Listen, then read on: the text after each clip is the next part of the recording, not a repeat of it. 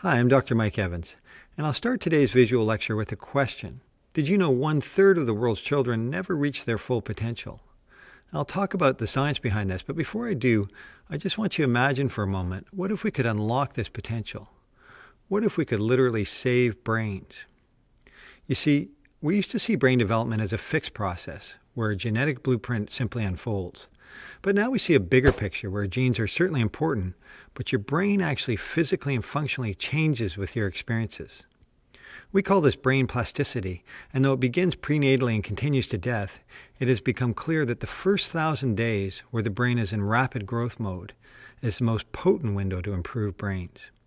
Understanding this developmental window is a bit like looking at the stock market and saying to yourself, man, if I just invested a little money in that company 20 years ago.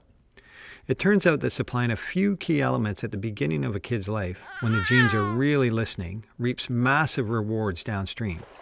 Their brains become richer and more networked, and unique to the brain, this has a ripple effect by improving a person's academic performance, economic opportunity, health, resiliency, their capacity to navigate life, and avoid some of life's more negative incidents and pitfalls. I will come to the positive things we can do to help young brains, but before I do, I think we have to consider the reverse when negative things happen to brains early in life. So let's define negative. When we look at stress, I think of three categories. Firstly, is the kind of positive stress experience we want for our kids, where stress happens in the context of buffering stable and supportive relationships, and where the kids actually build healthy responses to adversity. Even when they, quote, fail, hopefully their social network, and I mean that in the old sense of the word, helps them fail well which in turn leads to resilience. Next is when kids are exposed to extraordinary stress, such as an unexpected death of a family member, serious illness or injury, a contentious divorce, a natural disaster, and so on.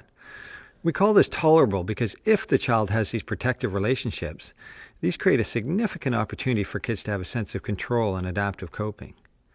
Finally, we have toxic stress, which by definition does not have this support system and is more insidious now, these would include child abuse, intimate partner, community violence, neglect, sometimes due to maternal depression or parental substance abuse. These children have no buffer. When we measure their physiological stress response, they exhibit strong, frequent, or prolonged activation, which makes it harder for the early brain to prioritize growth and learning. So, your next question might be so what? Well, when American kids with toxic stress were followed by the Adverse Child Experiences Study, those that scored the worst had a 4 to 12 fold increased risk for alcoholism, drug abuse, depression, and suicide attempts. A 2 to 4 fold increase in smoking, poor self rated health, over 50 sexual intercourse partners, and one and a half times increase in physical inactivity and severe obesity. So I think that's point number one. Stress and adversity are part of life. And if our children are engaged and, and supported, they can develop a healthy response regardless of where in the world they live. That's even protective for those that have extraordinary stress. Children who suffer toxic stress, who are abused or neglected at a very young age, can have a much weaker platform from which to launch. This disadvantage can play out in multiple ways as life goes on, and, and these kids need child protection to prevent or, or limit damage. Okay, so now we know what type of stressors that hold back the early brain. What can we do to actually enrich our children's brains? Well, the answer globally is twofold. Firstly, providing a platform of health and nutrition, and secondly, creating a stronger focus on play based responsive stimulation. Let's start in Jamaica with high risk kids 9 months to 2 years of age that had early growth curves that were considerably lower than normal. Now, some kids were just followed, others received extra nutrition in the form of a kilogram of milk based supplement. Others had stimulation, and still others had both stimulation and nutrition for two years. Stimulation here consisted of weekly visits from community health workers that encourage mothers and children to interact in ways through play that develop cognitive and emotional skills. So let me just blow that out a bit for the average parent. You know, this is largely about responsiveness.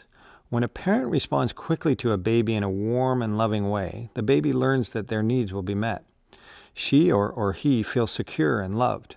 When a parent talks or, or sings to their baby, encourages curiosity, is consciously interactive, they literally enhance their kid's brain and create a platform for more.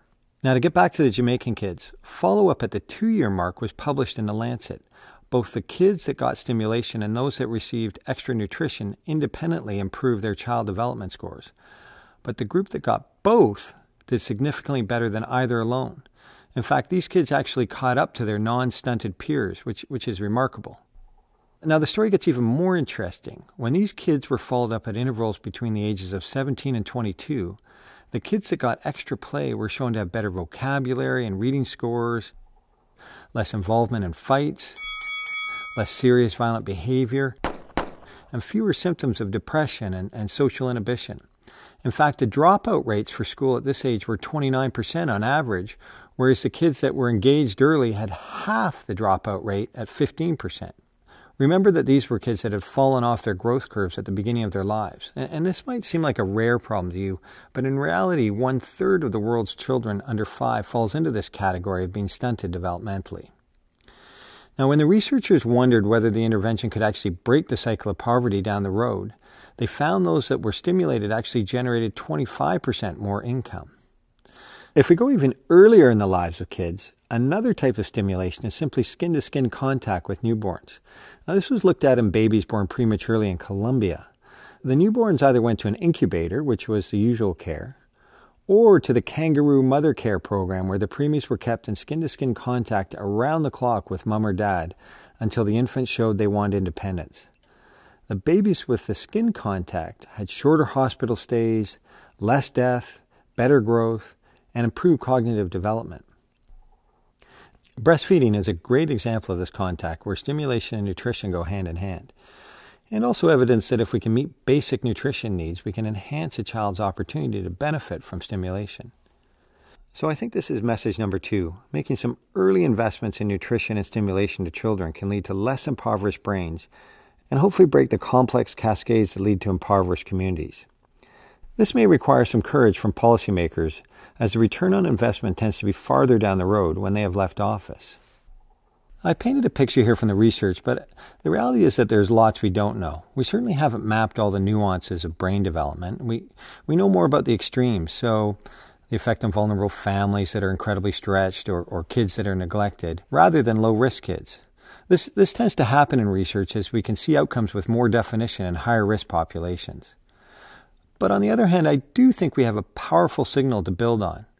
This isn't complex, and, and I think it's intuitive for parents, food, and, and play.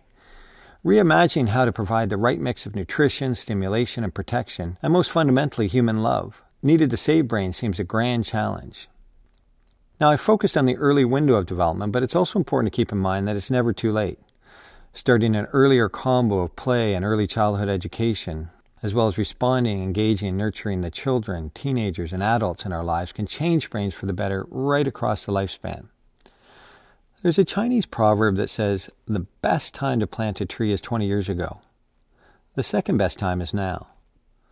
So I think saving brains is about timely investment in resources, but I think it's also about resourcefulness, especially when it comes to us as parents or friends or researchers or communities. Saving brains something to think about, and thanks for listening.